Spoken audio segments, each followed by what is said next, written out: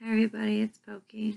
Um, so a little bit of an update. Uh, so I, I chose not to go with my um, getting my certification just because, as I said in my other videos, that uh, there's no viable way that I could do that and pull unemployment because I'd run into the same problem that I did this last month where I'd have to ask people for help in order to pay my house payment because I'm only barely making enough each week to pay for the bills. That's pretty much it. And I had to ask for help on getting something like, you know, toilet paper and paper towels and diapers and wipes and stuff. And one of my um one of my good buddies that I worked with while in the Navy, um, thank you again for for helping us out. By the way, you know who you are. Uh, but um, you know, she she asked me for my address, and I, you know, she messaged me and asked me for my address, and I had no clue why she wanted. I thought she wanted it for you know pics of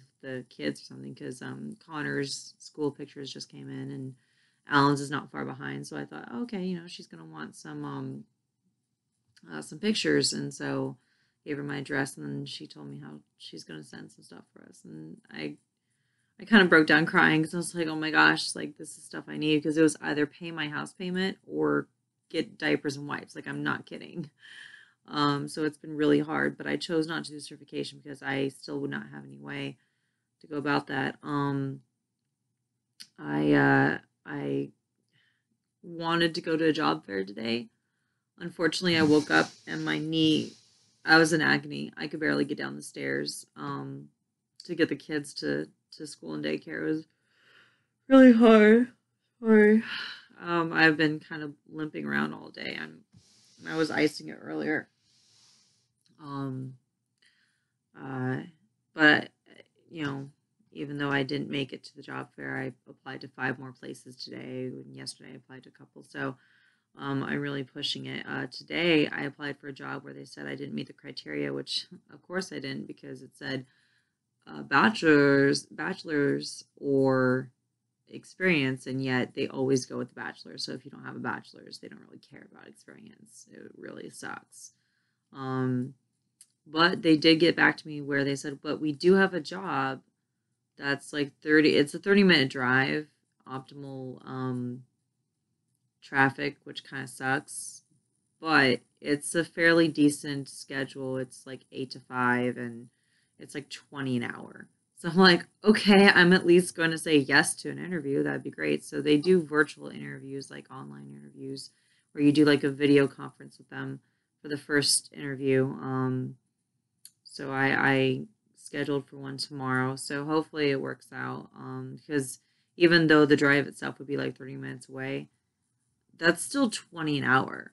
So if I can get this job, 20 an hour is definitely we would have a, a bit more of a cushion for our lives um, because uh, at the bare minimum i'd have to have like 16 17 hour just to just make ends meet to have a little bit on the side to kind of help in emergencies um, and I, i'm very frugal with money I, I can do really well with very little because i I had to all those years when I was in the Navy, and I had, uh, you know, my ex husband had addictions that he kept feeding, and kept stealing my money to go do whatever he wanted. So, um, I definitely had to penny pinch a lot. Um, I had to learn how to live on an E4 with dependents, uh, with debt because of my ex husband. So, um, so like, I, but see, that's how dire it is now. Like, I don't buy anything for myself hardly ever. So sometimes I will spoil myself, but I haven't spoiled myself at all. Um, I've I haven't gone new shampoo or conditioner. Like I had some left over from the apartment that I brought with. So when I'm done with this one, I'll use whatever's left of that. Um, usually I have to have a certain kind to help with my hair because I'm I am very sensitive scalp. So usually I use a Aveeno, but I'll go to Suave. You know, it's less than a dollar. It will really hurt my scalp because it'll become a little drier than usual. My hair might not suffer as much, but my scalp will. Um, I'll do whatever it takes though to save money. But I haven't I haven't been buying anything for myself. It has been all the boys or um or it's been household items like more Woolite to help with, you know, spillages or stuff like that, or spider spray because we definitely have brown recluses and um, and wolf spiders, but mostly brown recluses in this house. So yeah, it's been it's been difficult. Um, so when I say we're barely making ends meet, I'm not kidding. Um, so yeah, it's been kind of difficult, but hopefully this interview goes well tomorrow, and maybe that means they'll want to see me in person, and maybe my experience will speak for itself because I don't have a degree. I I never had time, literally never had time, and then like the times I tried to make for it online did not go so well because it's difficult doing everything on your own, and yeah so anyway that's my update for that. Um as the title of this video says um uh, i like duality. I like having the, the kind of light the dark the in between the gray all that kind of stuff. Um the examples i'm using are two of my favorite actors uh, robin williams um, and jim carrey uh, I mean, I have like a bazillion other favorite actors. I'm not kidding. Like, it was really difficult to narrow it down to these two. Um, but uh, they were very prominent as I was growing up. So that's why. And also because I really love Robin Williams and I really miss him a lot. Um, I'm trying not to cry. I, I even practiced a little bit earlier so I wouldn't cry. It's very difficult. I don't like to talk about him because Robin Williams helped me get out of some of my depression as a kid with uh, with his comedy. So very very difficult, very difficult when uh, I was on my way to work uh, when I heard over the radio, and I didn't want to believe it because you know sometimes people say that oh so and so died and they didn't, but all the news networks were saying it. Everyone. It wasn't just like some like one or two people were saying it um, it wasn't like the Onion was saying it, you know. No, it's everyone was reporting it was he was gone. So it's difficult to talk about him. I'm trying. I'm going to try my best. Um, but what I mean by duality is, for instance, these two um, actors they they were known definitely predominantly for comedy, and yet they did some amazing works that weren't just comedy. Um, honestly, Robin Williams he had a lot of movies that yeah, they were considered comedy. They had some real huge depth to them. Um, for instance, people will say like Patch Adams was, you know, uh, really hilarious, but it also had a lot of depth. Not just if you know the story. Sorry if you don't spoilers if you haven't seen it, but I mean, come on, it's Patch Adams. Um, so, I mean, like it's it's one of his classics, along with like Good Morning Vietnam. Like, have you not seen this? Um, but I mean, it was him trying to pay, like the character was trying to pave the way. I mean, he, I think they chose the perfect person to portray the real life person who did Patch Adams. Um, Robin Williams was the perfect fit for that because it wasn't just comedy. He has a full range of emotions that he shows in everything, and and it wasn't just him doing voices. It was he understood and empathized to such a degree you know, he's such an amazing man. So, um, like two of my favorite comedies of his growing up were uh, Flubber. I love Flubber. I mean, a lot of people like were like, "Oh, it was a trashy movie." No, I liked Flubber. Okay, I mean, I was a kid. Like, of course, I love Flubber. Um, it was kind of goofy and just out there, but um, but you know, it had some heart to it. Um, and then Hook. I loved Hook. I mean, it's funny because I never really liked Peter Pan, the Disney animated one, as much as the other animated ones. Um, maybe it's because I don't know. I probably would grow frustrated if I knew an actual Peter Pan. I probably get really irritated because I've always been such a mature person for my age, and I'm not talking about like, like, I'm talking about matures, and I had to grow up too soon. I had to grow up and throw away my childhood. I mean, for good reason, but still. So Peter Pan seems like the person I get most irritated with. So I didn't really like Peter Pan that much. I mean, it's definitely one of Alan's favorites. um, but I loved Hook because it explored the idea of what would happen if Peter grew up. And I like that. I like going past the fairy tale. I like going past the happily ever after.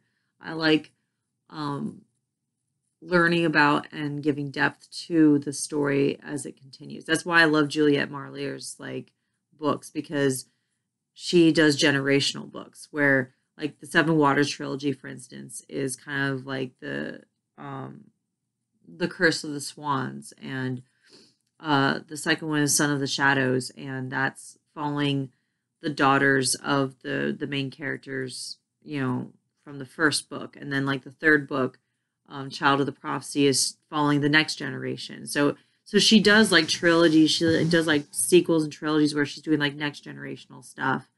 Um, and and and proceeding with the story so that you kind of glimpse what happened after the happily ever after for some characters, but you also get a sense of um, a new story emerging. Um, sorry, she's a phenomenal, um, you know, uh, phenomenal um, author. Like she just she knows how to tell a story. She knows how to dive into the essence of what those characters are, and that's how I feel about Robin Williams. That um, I think did an amazing job with Hook. Like, um, so that was two of my my favorite. Flubber and Hook were two of my favorites. I mean, yeah, I love Mrs. Doubtfire. Um, I did love Good Morning Vietnam um, and Patch Adams, and you know there are a lot, especially Aladdin. Like especially like his voice acting Aladdin. Like Aladdin was never my favorite animated one either. Like maybe I didn't like Jasmine sometimes because I felt like she was very entitled. And I get it. She has never been outside the palace. I get it that she's she wants to explore, she wants to break free from her cage.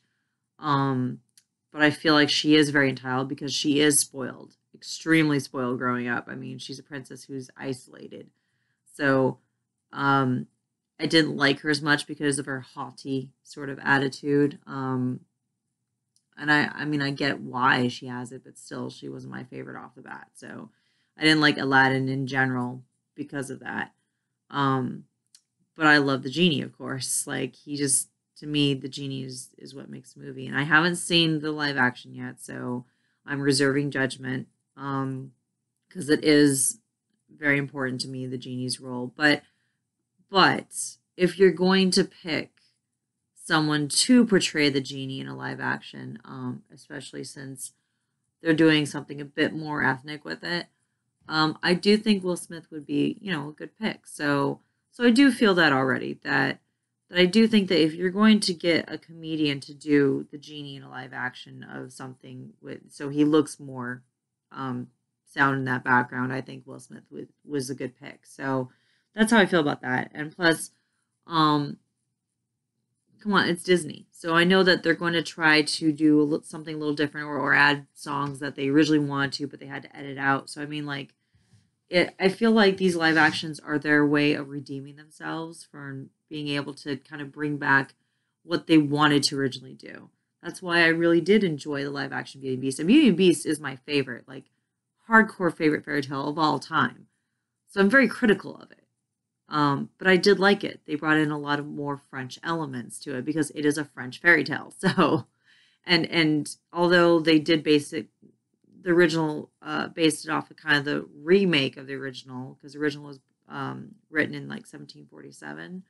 Um, and then like there was a remake like 1750, 1760s or something like that. Um, uh, like a decade later or so, someone had kind of rewritten it to something that's similar to what Disney did. So yeah, they based it off the kind of the the watered down version, um, but I still loved it. So you know, um, but anyway, back to Robin Williams. I'm sorry.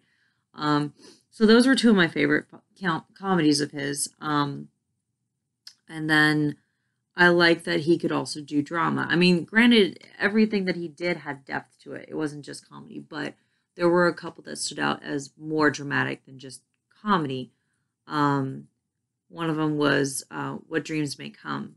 And I really felt in tune to that movie, especially considering um, my suicidal thoughts growing up and um, dealing with with knowing that death was around the corner, but um, trying to ignore death because I didn't want didn't want death to uh, to know I was paying attention.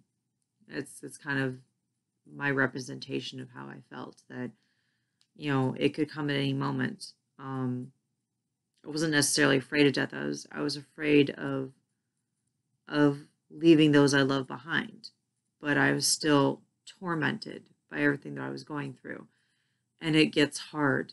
There are days when you just don't want to be strong. When you just want to let someone else be strong. Let someone else take take the mantle. Let someone else deal with it. Why do why do you have to deal with it? Why do you have to to carry that burden? It hurts so much and and you just there are days when you just like you you just want to pass it off. You just don't want to deal with it. So what dreams may come was very personal for me in that regard. Um and the second one was Dead Poets Society. I mean, I, I definitely love poetry. I mean, I, I writ a I wrote like a um writ. I'm so tired. I can't even I can't even sentence right when I'm speaking. Hmm.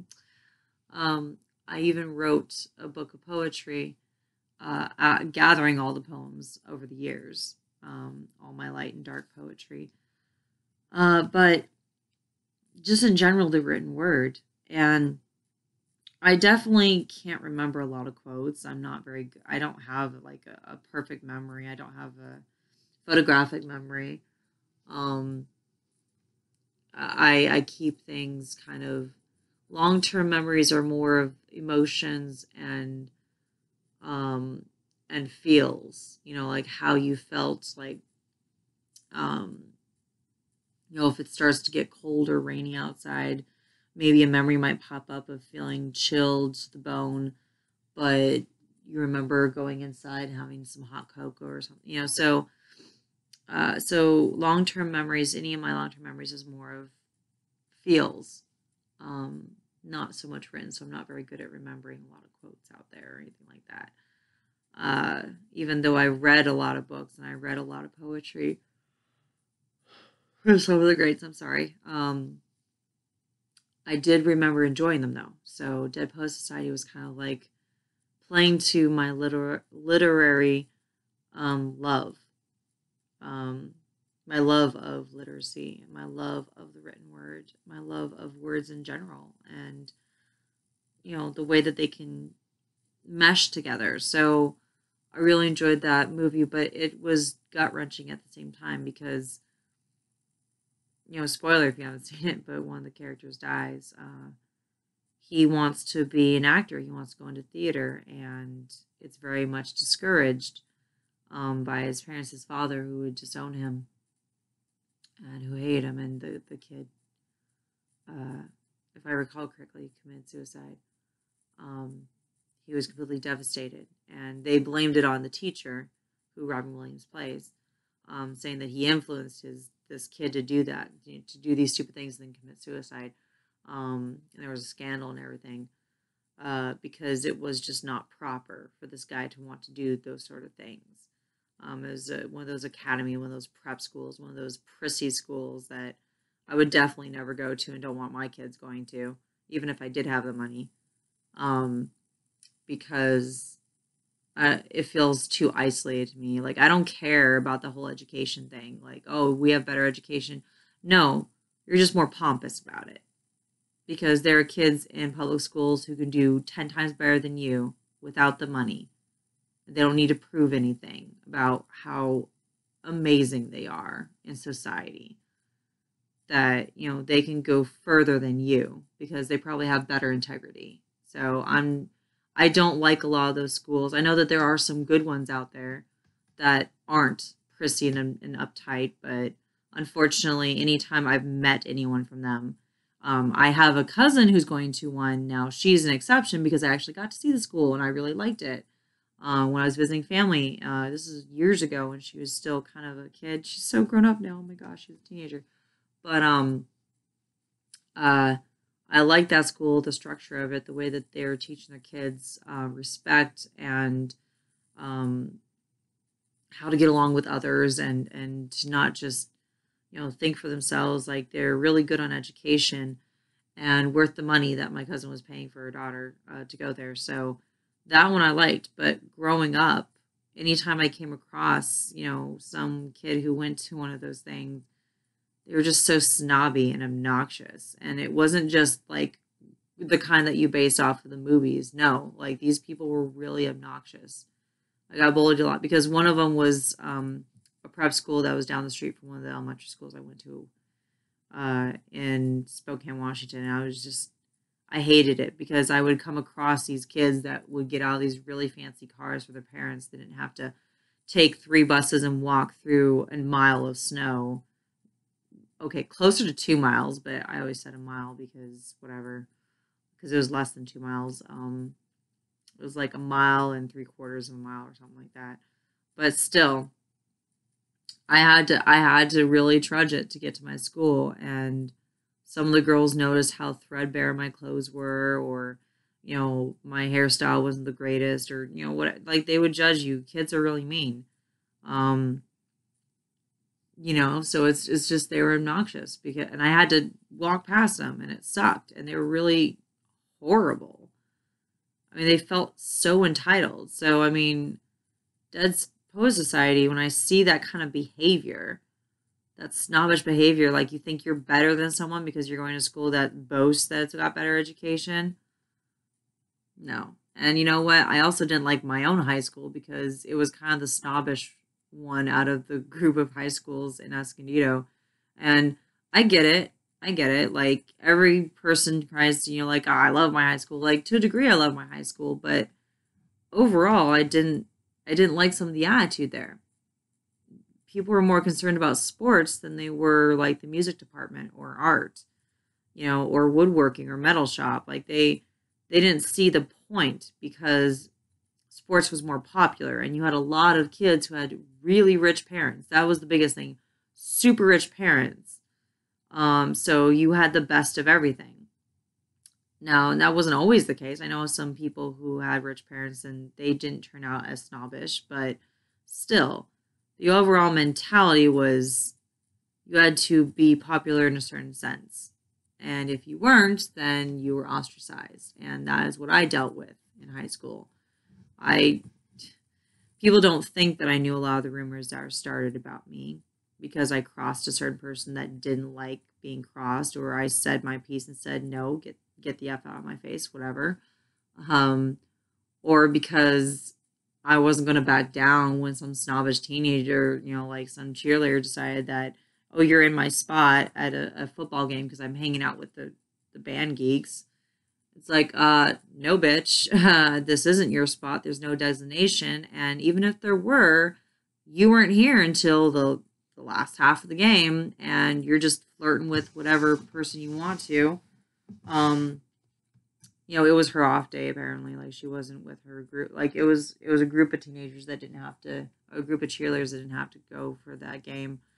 So i'm like okay great. I'm glad that you know you can take your time do whatever you want. But i'm you know so it's like anyone that apparently i crossed paths with who didn't like me and a rumor was started. And it wasn't that i didn't hear the rumors it was that i chose to ignore them. I chose to ignore all the all the bullshit that was said because I'm just like I've got better things to deal with, you know, better things, more important things to deal with, you know, than than that.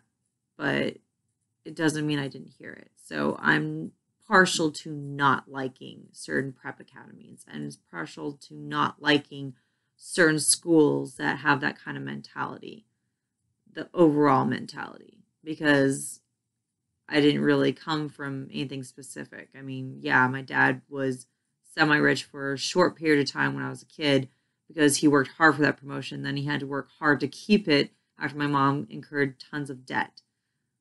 But that doesn't mean that I was inherently rich just because my dad made a lot of money. Like, I had people who spoiled me, you know, other relatives, but it was just for a couple years. And even then, I wasn't allowed to keep a lot of that not just because of you know the divorce from my parents, but also because um, when it became too excessive, we my dad bundled up a ton of toys and went and donated them. If I was really being rebellious, he would do that. Like I would lose my toys. They because like, well, you have enough, so guess what? These are gone. Uh, you know, I wasn't as, the same kind of spoiled as a lot of people. And then after, you know, the start of the divorce, when my mom kidnapped me and my sister went to another state, um, yeah, it was poverty because my mom barely made anything, and then she spent all of my dad's child support money she never gave any of it to me and my sister. So we literally were starving half the time. Or she would lock me out of the house. So I'd be uh, sleeping by the side of the house for like a couple nights, you know, like I, you know, so I, I had to go through that. And then my dad didn't have the best money when he did get custody of us because he was starting all over. And then there was okay time period where it's like, okay, we, we have a little bit of money, but not by much. Um, but I still had to work for it for anything that I had, you know, so I wasn't spoiled rotten, you know, and I didn't get anything that I wanted. you know, even when my dad did have a little bit of money when I was a kid, it, you know, if I wanted something, he didn't just be like, okay, here you go. Like, uh, did you get a good enough grade, you know, in this class? You know, did you have, you know, anything less than a B was nope. Anything less than an A sometimes was nope and you also had to all have all your chores done all the pets had to be taken care of and by chores i mean i had me and my sister had to help clean a two story house windows are never fun. I hate windows especially because i've always been short. So don't like ladders. You yeah. So i mean like it's not like i was just handed stuff. I actually had to work for it. So anytime i have to run across prep people or people in that kind of situation where anything's happening to them i don't like it. So Dead Poet Society was definitely me um, really rooting for the teacher and really rooting for the students who were rebelling because I was like, yeah, you better rebel. You better be against that because I hate that. I hate that that mentality. I hate that kind of persona, the the way that people look down on others like that. I don't like it. I hate it. So if it's my choice, my kids get to go to public school, even if I had the money to send them to to private school not happening. Like I just no. It's even as an adult, I've had to run across people who are like that, that they just had everything handed to them.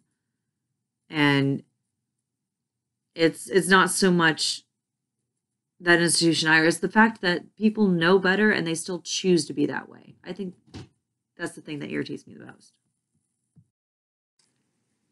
Okay, I had to pause the movie because, um, well, movie, my my movie, little thing. Uh, I had to pause because I heard the thump downstairs or upstairs. It's because Alan woke up and he had a nightmare. So I had to. I was rushing out there like, "Are you okay?" And he's just like, "I had a bad dream." I was like, "Okay." So I had to. I had to kind of sit there. It scared me so much. Like I thought he fell off his bed. I thought something happened. I thought Connor fell off his bed. Like I just took down that one wall in his crib. So, ah, okay, okay, we're good.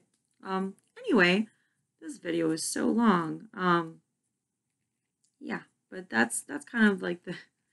I definitely felt I felt the atmosphere for Dead Poet Society. So um, so that's I like that faucet though. Like I like that although there was comedy with Robin Williams, he definitely broached the inner demons that we deal with as humans, that we deal with as people, as individuals, and um, and kind of the consequences of it too. So it definitely it definitely plays to um, one of the best examples I can think of of duality. That um, he wasn't just a one trick pony. It wasn't just comedy. You know, everything had meaning and had depth and had it was surreal almost how how well he portrayed um, everyone's like inner heart and inner desires inner inner demons inner emotions and you know just everything he did so um, i like that though i like the the light and the dark of everything so yes i love disney but i also love the original dark renderings of fairy tales because that's where they're from. That's what they're originating from. That's they weren't all sunshine and roses, literally. Um, so that's that's why I also miss him because I think that even though a lot of people think that some of his performances later on in life weren't as good, I I disagree. I think it definitely shows the degradation of, of the human psyche of what goes on underneath and for many years of having to deal with that it shows perfectly what happens when you are suffering like he was so um i i definitely think he could give the light and dark and all the gray in between um and i think i think people could learn from his performances and learn from his life you know uh so yeah, that's definitely something I like for duality. Uh, the other one, Jim Carrey. Um, I chose Jim Carrey because he's also someone that I grew up with prominently in the '90s. Um, my fa- my two favorites from him as far as comedy was uh, Ace Ventura: Pet Detective, When Nature Calls. Um, the second one, the first one was all right, but I guess maybe it's because it had to do with like football. I'm not a sports person. I mean, if you're into sports, great, but I don't have to deal with that noise. I don't I have no teams, no anything, so I don't have to deal with um with people freaking out if I like this team or that team or the just craziness that happens when it's like sports seasons of any kind of sport. So yeah, anyway, um maybe that's why I didn't like the first one as much. The second one I thought was downright hilarious. I could not stop laughing. Um and then I also love The Mask, and I think I think the mask was just hilarious to me because um because in and of itself that movie is a duality like because you know he's one person wanting to be another person. He's this dorky nerd kind of guy who wants to become the cool guy um and trying to find confidence in himself but he doesn't feel confident unless he has that mischief mask. So i think i think that was also another perfect a comedy that's also a duality in and of itself. Um but Jim Carrey isn't just uh, comedy; he also does some some drama. And uh, the two that so I'm I'm picking two for each, you know, um, because I, I just don't want to kind of limit it to that. Um, so the two that I picked that I love the most for his drama was uh, uh, the Truman Show was was one. Um, uh, I think because it's someone who's definitely feels like a fledgling, like a newborn, pretty much discovering things for the first time and, and you know, wondering um, what's going on in his life and, and not feeling in control. And I think I definitely relate to that. Um, feeling like nothing is ever in my control and it sucks. Um, it's not like I'm a control freak. I just don't, I've been put down so much. I've been caged so much that I just, I don't like that. I don't like being handled like that. Um, I don't like it when people try to handle me like that. So I, I like to be my own person. I like to be able to decide. So if anyone tries to control me or manipulate me, I don't take too kindly to it. So I think that's why I definitely related to the Truman Show. Um, Eternal uh, Sunshine on Spotless Mind was that my, my second favorite for drama. Because um, I mean, like, yeah, there's some comedy, but I think it speaks to the romantic in me. Because um, a lot of it's very heart wrenching. Uh,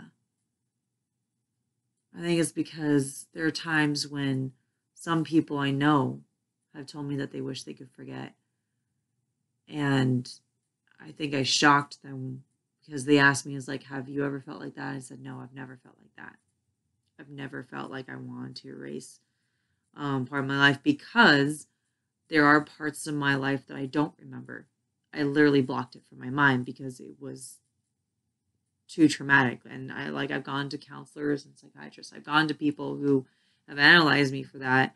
Where there are some moments in my life, um, I remember perfectly when my sister was born. I remember some moments after my sister was born, and some of the moments in the apartment that we were living in before we moved to Tehachapi when we were still in Thousand Oaks. Um, you know, the times when we were in the apartments that uh, that you could have horses because there's Candy and Sugar, these two horses that I grew up with that uh, grew up around, you know, and got to ride and hang out with. I think it was Candy was the one that was the temperamental one. I'm not kidding. I'm like three years old, three and a half years old, four years old, and no one could get near that horse. Like no one. They just she was just temperamental, like nobody's business. She just she is very cantankerous horse. She she hated people. Um, but I come over, calmest beast in the world. I say beast loosely because I don't mean like a beast, you know, but uh creature, calmest creature, you know, it's um because she was very beastly. She was very beastly, but I was definitely the beauty to her beast. Like I I don't know what it was about me. I don't know. Maybe it's because I love animals. Maybe it's because I really love horses, but I think that shaped my love for horses the most because there was some sort of emotional connection between us two. Like I remember that distinctly. And most most children can't identify or recall things from certain ages because they're too young. They haven't become self-aware, conscious of anything. Um, but I did. Um, my first memories are literally around the time that my sister was born. That was a very monumental thing for me. And, you know, and past that. However, the entire year when I was four years old, I don't remember very well. I do remember specifically being away from home briefly um, before I turned five. And there was even a picture I found once where I'm sitting on a rock and I'm kind of, you know, mm, like that. I'm like four years old. I'm like, mm.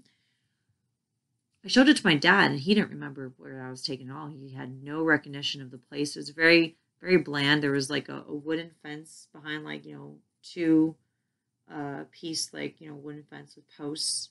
Um, and is just very well manicured, very lush green uh, lawn kind of grass, cut nice and short. And then a rock that is, you know, not very tall, not very wide. Like it was more oblong or oval than anything. Um, it wasn't it wasn't very high, but I was sitting at the the edge of it. Um, and there's no recollection of that picture of who I'm with. Um, but I was away from my family, and I don't recall, and none of my family members recall. No one remembers. Uh, and that was when I was four until I turned five.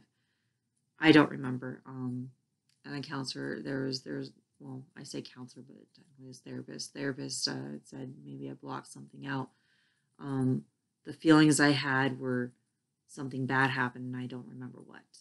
Um, literally no memories. And then there are times when I was with my mom during the divorce that I don't remember that I blocked out. So there are times when I don't have any memories at all of stuff. Um, but when they when that person asked, you know, uh, you know, has have you ever felt like you just wanted to erase some of your memories?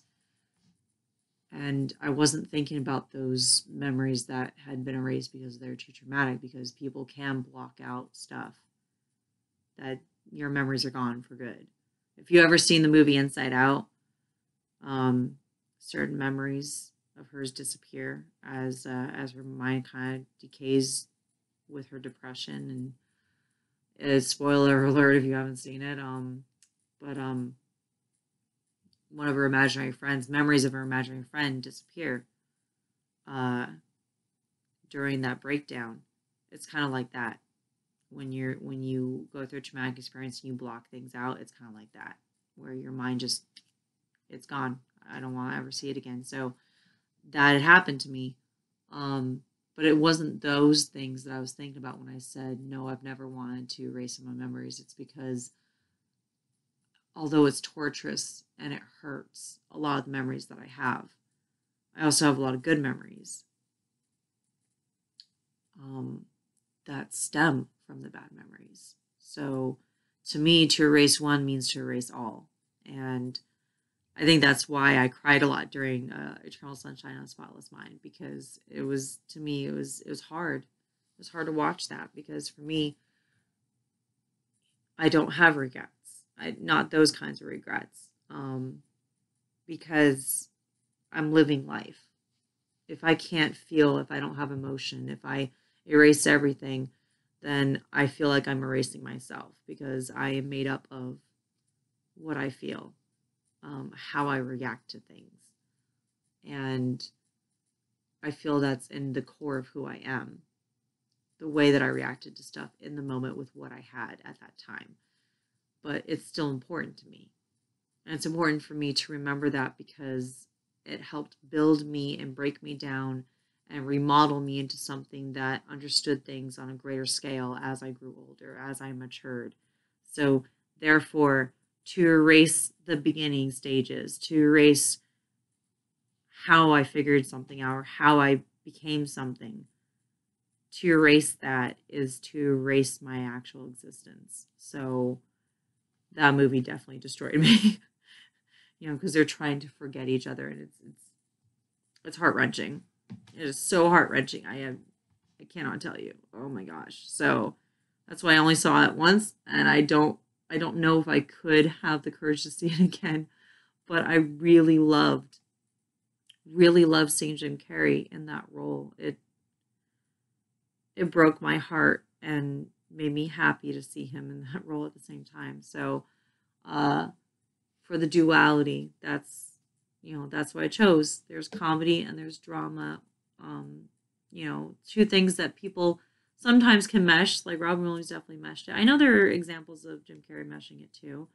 Uh, Liar Liar, I think, is a good one because there's a lot of comedy, but it's very, it's very devastating in some ways because it's a family situation that he's going through. So I mean, you know, um, uh, Bruce Almighty, uh, that was pretty funny. Um, I mean, it's got a lot of hilarity, but it also boils down to free will and choosing not to interfere and, you know, um, how you react to a situation, how you define yourself. So, I mean, both actors have ways of blending things. Really good actors can blend more than one kind of genre into something. And so I think it's difficult sometimes for the people to see it as comedy or drama or romance or whatever. Um, I'm not the biggest fan of most rom coms because a lot of them seem too cheesy to me, but there are a few exceptions. So, I mean, I'm not going to talk about that in this one though. But, um, but yeah, that's my, those are two examples. Like those two actors are my examples of duality that I really like. I really like having the, the light and the dark. Um, I like having some of the gray in between. Uh, I like having balance, I guess is the best way to describe it. Uh, balance is very important to me. It's very key. I don't like things to be tipped too far to one side. That's why I think over time, yeah, I yammer and haul and uh, holler and I um and I whine, kind of bitch about things here or there. Um, especially my current situation because it sucks I have every right to complain. But um, there's sometimes, uh, a lot of times, when certain things happen, people think that uh, I would usually be up in arms about, and and it, internally I might be, but at the same time, I I don't get as freaked out or stressed about certain things like I used to, and I think it's because I feel like the universe is keeping things in check for all the good that this does over here, you have to have some bad that goes with it. So that's how I see it. So when when bad things happen on um, on the smaller scales, uh, I don't get as upset because I'm just like, it happened. What am I supposed to do? All I'm gonna do is complain and whine, and all I'm gonna do is is fret over it, and my anxiety is gonna kick in, and then I'm gonna waste my time freaking out over something that I can't change because it's already occurred. So, yes, I, my anxiety will kick in randomly at any time, but I don't want to invite it. you know, if it's going to barrel down the door uninvited, just out of the blue, I mean, that's going to happen. That's what anxiety does. It just comes over and it's like, hey, can I use your phone? Thanks. Hey, can I borrow some milk and sugar? Can I do this? Can I do that? Yeah, I'm going to do it anyway, whether you want to allow me to or not. Um, so that's how anxiety is. But that doesn't mean I want to invite anxiety. So I feel like if I got freaked out about something, like if I really allow myself to freak out over stuff that I can't change, that just it happened, there's nothing that I can really do about it. Why invite anxiety over, you know? so that's how I see that. Um, is I, I'd rather not invite anxiety. Anxiety is going to come over whether I wanted to or not, but I better not um, waste my time because I have more important things to do with in life. So that's how I see it is the balance, the duality. And so I like seeing that in other places. I like seeing the balance, seeing how things are maintained. Um, so I definitely do not enjoy when things are tipped too far over. Um, I mean, it sucks because bad things keep happening around me. It just it does. And maybe that's why I don't have a relationship. Maybe that's why they all fail because they all caught on to my curse, my Murphy's Law curse. Anything bad that can, you know, anything that can go wrong will go wrong. That's pretty much my life. So maybe all of them are being smart and saying, no, we're just going to stay away. So even the ones that could potentially be nice matches for me decide that, no, no, we're just going to be smart. And so instead of looking at them as cowards, I'm just be like, no, you're probably smart to stay away from me because bad things just happen. Um, a lot of good things, but also a lot of bad things. I think it's because I try to maintain a balanced life, but I think most importantly, the universe decided that it's just going to do it for me. Um, so yeah, that's definitely uh, to go along with my video that I, I like duality. I like seeing the balance of things. Um, I don't like a lot of that stuff that happens to me, but so a lot of there, there's a lot out there that there's nothing I can do about it. It just happens. You know, I don't really uh, believe in coincidence that much. Sorry, there was like a hair on my left. Um, yeah, I don't really believe in coincidence that much. Um, I believe things happen for a reason. So, yeah. Um, anyway, super long video. Uh, mostly because I had to regain my train of thought because I had too many tangents. That's the other thing. If you haven't noticed already in my videos, I go on a million tangents. Um, I think that's why there are some friends that I get along with more than anyone else, and that's because I can literally go on crazy tangent conversations that will last hours. Um, but with them, I can retrace my steps exactly. Like I, so one of my one of my buddies from high school, which coincidentally, I, I it was the dude that I dated recently. He walked in on me talking to the the guy that I call my older brother, and we're having some crazy tangent moments, and he's just like, "Do you guys even know what like what you're saying? Like what tangents you've gone on?" I was like, Yes, actually, I do remember. And I literally categorically went through every single tangent that we went went to back to the root of it. So like you have the root of the conversation and you branch off, branch off, branch off, branch off, branch off to all these different branches in the conversation with these tangents. I was able to reconnect all those branches before getting to the root of what where we started and retrace our steps in the conversation as it were. And he just kind of looked at me like okay. Like that's kind of crazy, but okay. It's like, wait, you can't do that? like I can do that with only a couple different people though. So my big brother was one of them. Um the other one I'm not going to talk about. But anyway, so uh so if you've paid attention at all during these videos, you know that I have crazy tangents. Um and a lot of it I cannot help because sorry, I have like more bug bites. I hate these bugs. They, I've got like O positive blood, so I'm told that bugs love O positive. I don't know. Sorry, uh, I'm just like so itchy because of these bug bites. There's even some like on my my chest and my neck, and it's just yeah. Um, I can't really help a lot of the tangents though. They just they just come unbidden, and either I follow the tangents or it bugs me until I follow the tangent. So uh, if there is a cure for that, I would definitely love to know about it. But um, anytime I've tried any of those self help books, they never worked. And I've tried like meditation, um, classical meditation, and many other kinds of meditation. It doesn't work to clear my mind. The best thing that I can do is follow the tangents or give myself an activity to distract me long enough um, so I don't get overwhelmed with not following the tangent.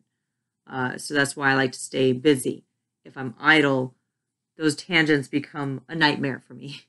Um, because then I definitely want to follow the tangents and I can't do that all at once. So I'm stretched between too many different avenues of approach where um, where I don't I don't know how to proceed and so then I get overwhelmed. So that's why idleness does not work well for me. I have to always be doing something. Otherwise the tangents just create chaos in my mind. But um but I I can't the best way that I found that can still that or uh, have the the semblance of um of peace and quiet is um keeping busy because then it, it boils down to me distracting myself long enough to where the variety of tangents, the, the overwhelming number of tangents doesn't destroy me um, because I can't follow them all at once. So then I can pick and choose which tangents I go on. If I'm distracted, I can be like, okay, so instead of thinking of like 50 different things and trying to do all those things at once, like researching this or going and doing that, I can think of 20 different things and I can research like 10 of those at the same time and read about like three of them at the same time, like three different books or whatever. So I might have a tangent where in my brain that goes over, you know, a specific fairy tale and me wanting to research like has anyone ever retold it in this way? Or what was the original fairy tale like? Blah blah blah. What was the origin of this because then i will want to research and find stuff out and then like i can be thinking about like animals so i really really love animals and i loved magic school bus growing up I had a third grade teacher, Mrs. Smith, who was literally like the living embodiment of a of um of the the magic school bus teacher, um, Miss Frizzle.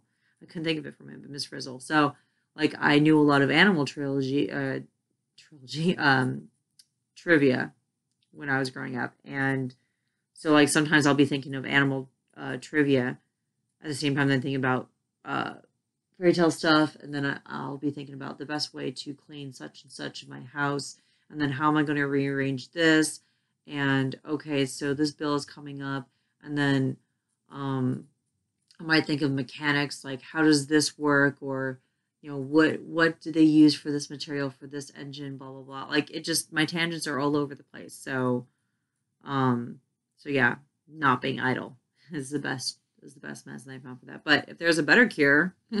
I'd be open to it. Anyway, that was the biggest tangent I've ever gone on is talking about tangents in a video that doesn't really go over tangents, but there's my duality. I have like a piece of hair that got cut off. I don't know why. Um, yeah, and I my I took a shower today, so my hair's all blah right now. Um, anyway, this video is long enough, and I'm sure you don't want to hear me talking anymore. Of course, no one's seeing this video, but still, it's I'm trying to pretend that I'm talking to an audience other than myself. I'm trying to visualize talking to other people. This is part of the process of getting over that fear of talking to people and being more open. So, I'm pretending that there's actual person watching this and gives a damn about anything that I'm saying. Um, so thank you if you watched this far.